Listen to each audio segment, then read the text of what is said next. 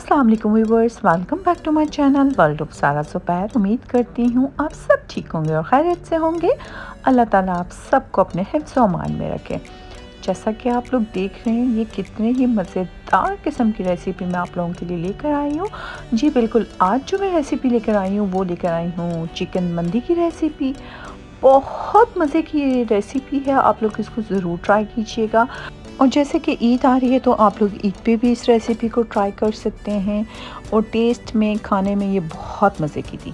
तो चले जी, हम स्टार्ट करते हैं। सबसे पहले जी, यहाँ मैंने ली है चिकन और चिकन को जी, बीच से मैंने कट कर दिया था स्किन के साथ ही है और अब हम इसमें जस्ट बीच में कट कर देंगे ताकि मसाला जो है वो ईज़िली लग सके। तो जी, सबसे पहले मैंने इस पर सॉल्ट लगा लिया है almost one and half teaspoon आप अपने हिसाब से लगाइएगा, ये मंदी मसाला है, इसको मैंने लेमन में मिक्स कर दिया है और इसको जी, हम टू टेबल स्पून मैंने इसमें डाला है और इसको जी, मैं दोनों तरफ़ बहुत अच्छे से, और आप जैसा कि देख रहे हैं ग्लव्स पहन के उसकी मदद से जो अंदर कट्स लगाए हैं, उसके अंदर भी मैं इस मसाले को लगाऊँगी। और मज़ीद ऑलमोस्ट वन टेबल स्पून मैंने इसको लगाया है।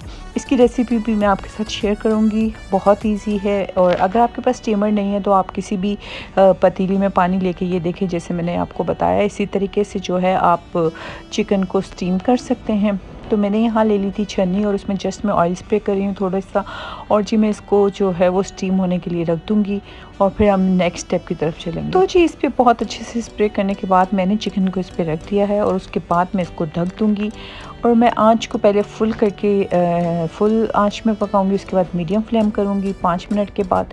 और ये देखें जी, बहुत अच्छे से ये जो है वो स्टीम हो रही है और मैंने इसको टर्न कर दिया है दूसरी तरफ़ और ताकि मैं दूसरी तरफ़ से भी इसको बहुत अच्छे से ये स्टीम हो जाए प्रॉपर ये जो चिकन है वो टेंडर हो जाए। और ये जो है ऑलमोस्ट मैंने रखा था पैंतालीस मिनट और तो जी यहाँ हम फ्राई कर लेंगे। अनियन को मैंने टू लार्ज साइज़ के अनियन लेके उनको फ्राई करने के लिए रख दिया है।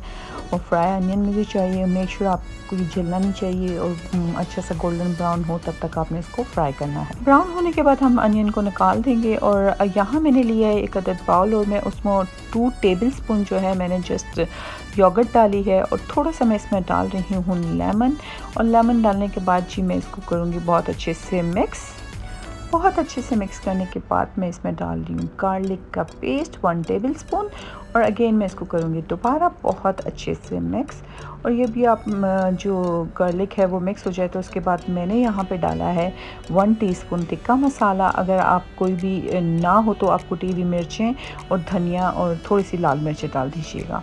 उसको जी मिक्स करूँगी मैं बहुत ही अच्छे से और जो चिकन हमारी स्टीम हो चुकी है और इस मिक्सचर को जी मैं लगाऊँगी। थोड़ा सा मैंने इसमें जो है वो फ़ूड कलर भी डाल दिया था।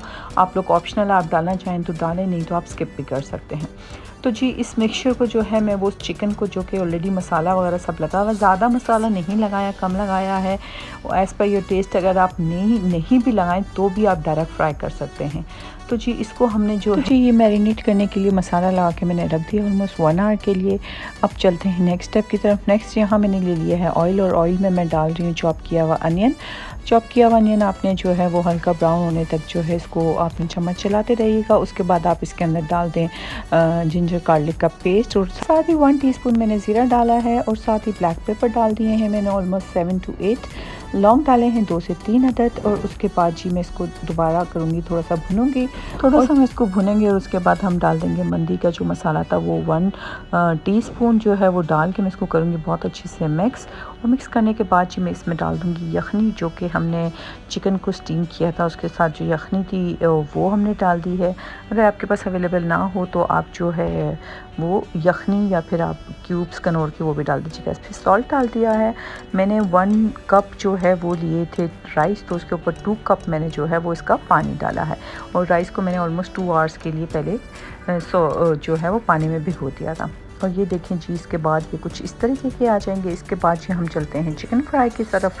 चिकन जो है वो मैंने कदर पैन में थोड़ा सा ऑयल लिया है और उस चिकन को हम एक तरफ़ से डन करेंगे। बहुत ज़्यादा नहीं, फ़ौरन हो जाएगी क्योंकि वो ऑलरेडी टेंडर हो चुकी है। ब्राउन हो, हल्की सी ब्राउन होगी तो उसके बाद आप इसको निकाल दीजिएगा। राइस भी देखिए हमारे ऑलमोस्ट रेडी हैं दम के लिए। तो दम पे रखने से पहले जो है हम जो चिकन हमने फ्राई किया है, उस चिकन को हम इस पर रखेंगे और उसके बाद जो है हम एक अदर कोयला ले लेंगे और कोयले की हम जो है वो धुआँ दे देंगे। तो जी, इसी तरीके से आपने प्रोसीजर को फॉलो करना है। पाँच मिनट के लिए आप इसको दम पे रखिएगा तो आपका बहुत ही मज़ेदार किस्म का ये रेडी हो जाएगा। साथ ही मैंने ले लिया है यहाँ एक अदद पैन और उसमें मैंने वन टीस्पून बटर डाला है और कुछ ड्राई फ्रूट्स है, मैं इनको जो है हल्के से जो है वो फ्राई करूँगी। और साथ ही काजू, बादाम, किशमिश जो है हमने इनको फ्राई कर दिया है। बहुत ज़्यादा नहीं, बस हल्का सा आपने ब्राउन करना है, ज़रा सा कलर चेंज होगा तो आप इसको निकाल दीजिएगा। तो जी चले, हम चलते हैं अपने राइस की तरफ़। राइस हम डिश आउट कर लेते हैं और साथ ही मैंने जो ब्राउन किया हुआ अनियन था, वो डाल दिया चिकन ऊपर डाल दिया और ये ड्राई फ्रूट्स जो हैं, वो आप डाल दीजिए और इसको जो है वो मंदी की एक स्पेशल चटनी आती है। आई थिंक सो मैं उसकी रेसिपी आप लोगों के साथ ऑलरेडी शेयर कर भी चुकी हूँ और फिर भी कर दूँगी इस रेसिपी के बाद क्योंकि वीडियो बहुत ज़्यादा लंबी हो गई थी।